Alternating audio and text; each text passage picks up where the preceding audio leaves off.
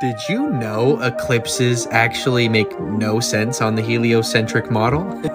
I'm gonna explain why. So all these planets, right, they were created from the Big Bang. Gravity caused all of them to become balls. They're all orbiting the sun irregularly at different speeds, miles an hour.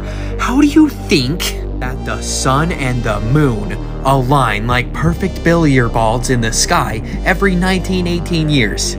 From the Big Bang. Seriously. It doesn't stop there, though. You know how they perfectly line up to the exact, like just perfect quarters cut to line up to each other.